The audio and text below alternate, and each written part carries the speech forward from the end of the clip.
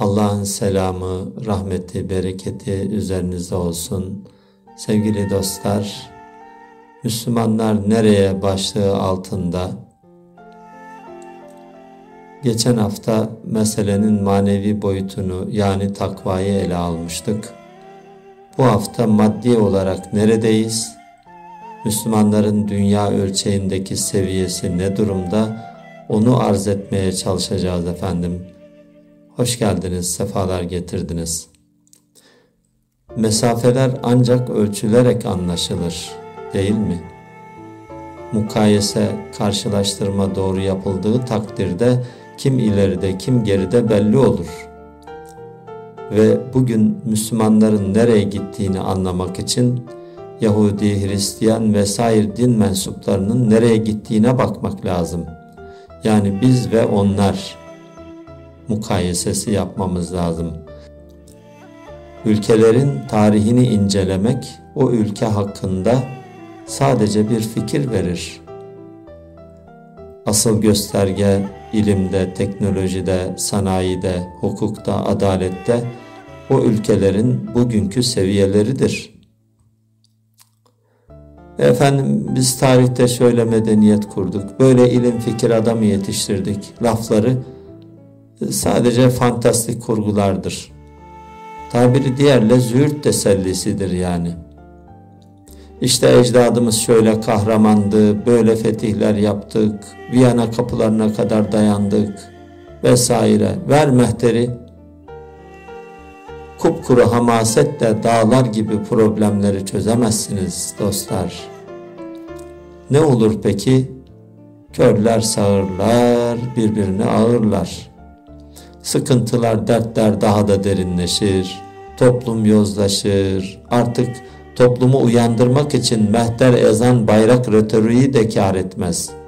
Bu tür değerler kimsenin umurunda olmaz. Maalesef bugün olduğu gibi atalar dini medeniyetiyle övünmek ancak acizlerin işidir. Madem tarihte medeniyetler kurdun, bugün neden perişan durumdasın diye sormazlar mı adama? Bazı dostlarımız hocam çok mu kötüyüz diye soruyor. Cevaben evet çok kötüyüz diyorum. Ağır kanser hastasına iyisin iyisin turp gibisin demenin faydası var mı? Elbette yok. Ancak büsbütün ümitsiz de değilim dostlar. Müslüman toplumlar başlarını taşlara vura vura kendilerine gelecekler inşallah. Bu belki biraz zaman alacak. Yapılan araştırmalar ortada. Sürekli istatistikler yayınlanıyor. Özgürlükler, insan hakları, ekonomik veriler, teknolojik gelişmeler konusunda İslam ülkelerinin karnesi çok kötü abartısız Avrupa ülkelerinin en az 100 yıl gerisindeyiz. Dünden bugüne değil, 300 yıldır bu böyle. Rastgele yoldan geçen 100 kişiye tek tek sorsak, inanın nerede yaşamak istersin diye en az 90'ı bir Avrupa ülkesi diyecektir.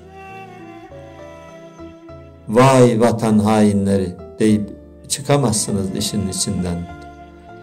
Yani meseleyi sadece ekonomik refah seviyesiyle de izah edemezsiniz. Hak, hukuk, adalet, sosyolojik, psikolojik arka planını da incelemek zorundasınız. Çok büyük bir mesele çünkü. Müslüman bir ülkede doğup büyüdüğü halde yığın yığın insanlar bir Hristiyan ülkesine kapağı atmaya çalışıyorsa bu işte bir terslik var demektir, değil mi? Kendimize bakmamız lazım. Dert, sıkıntı bizde dostlar. Yüze yakın İslam ülkesi bir buçuk milyarlık koca ümmet olarak günahımız nedir acaba? Ölçüyü neden kaçırdık? Pusulayı neden bu kadar şaşırdık?'' Neden fakirlik, sefalet, kan, gözyaşı İslam ülkelerini kasıp kavuruyor? Neden hukukçularımız evrensel hukuk normlarına göre, vicdanlarına göre değil de cüzdanlarına ve yukarıdan gelen emirlere göre hareket ediyorlar. Her cuma hutbesinde İmam Efendi'den şunu duymuyor muyuz? İnna Allah ya'muru bil adli vel ihsan. Allah adaleti, iyiliği, akrabaya yardım etmeyi emreder. Bu, bu ayetleri duyduğu halde neden adaleti tesis etmesi gereken Ümera hiç kılını kıpırdatmıyor? Neden? Çünkü işlerine gelmiyor. Adaletli bir ülkede toplumu koyun gibi güdemeyeceklerini biliyorlar. İnsanımız kendi ülkesinin adaletine, hukukuna güvenmiyor da neden sürekli Avrupa İnsan Hakları Mahkemesi'ne gidiyor? On binlerce dava sırada görüşülmeyi bekliyor. Görüşülenlerin de yüzde 99'u ülkemiz aleyhinde neticeleniyor.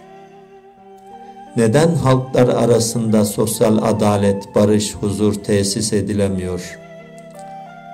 Türk, Kürt, Alevi, Sünni, laik, dindar kavgaları sürekli sürekli yaşanan kavgalar bunlar. Ya gözümü açtım dünyaya bu kavganın içinde buldum kendimi.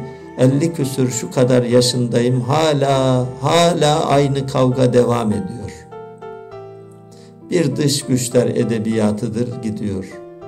Yani bizim hiç suçumuz günahımız yok. Bizi geri bırakan hep dış güçler öyle mi? Yok bizi bölmeye yıkmaya çalışıyorlar Yok dört bir yanımız düşmanlarla çevrili. Tamamen zırva. Bırakalım artık bu saçmalıkları dostlar. Yok sen anlamazsın, yok sakın eleştirme, sus, kes, teslim ol, etliye sütlüye karışma, itaat et kurtul. Ne bu ya?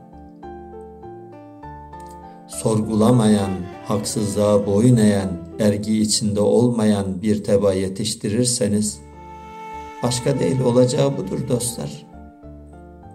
Yok sen şucusun bucusun diye birbirinizi yerseniz, herkese düşman nazarıyla bakarsanız olacağı budur. Daha ne bekliyoruz? Siz kendinize bakın buyuruyor Cenab-ı Hak. Aleyküm enfüseküm la yedurrukum men dalle idehtedeytüm. Eğer siz birbirinizle cederleşmez, sağlam durur, aklınızı başınıza alırsanız dış güçler, iç güçler hiç kimse size zarar veremez diyor Rabbimiz. Netice kelam tarihle bağımızı koparmayalım. Tamam. Ecdadımızı hayırla yad edelim. Amenna. Fakat bugünün medeniyet telakkisini ıskalamadan yapalım bunu. Günümüz medeniyeti teslimiyetçi, yasakçı anlayışlarla ikame edilemez.'' Yani bu kafayla toplumsal barışı temin etmek mümkün değildir. Yani çağdaş gelişmiş ülkelerin hayat standardını yakalamadan yani özellikle demokrasi, insan hakları, özgürlükler bağlamında diyorum. İslam dünyasının yüzü asla gülmez dostlar. İnsanlar bugün olduğu gibi dini referanslara da itibar etmez artık. Dostlar, Müslümanlar nereye sorusunun cevabını kısaca vermeye çalıştım.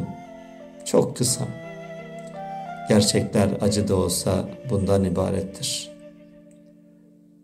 Önümüzdeki hafta bundan tam 34 sene önce aynı başlıkla bir gazetede yayınlanan yazımı arz edeceğim inşallah.